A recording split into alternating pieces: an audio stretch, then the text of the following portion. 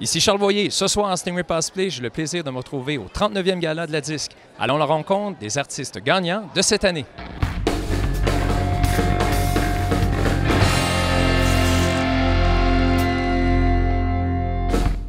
Vous pigez soit une question sucrée ou salée. C'est vraiment tough. Il y en a tellement. Ah, je suis déchiré. C'est- vrai que c'est sucré.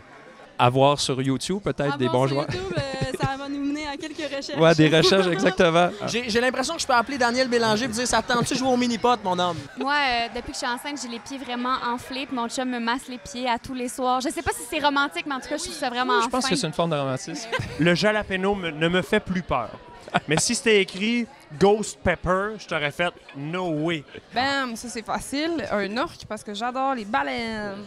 Si, mon homme, je m'excuse, je parle. ben c'est bon.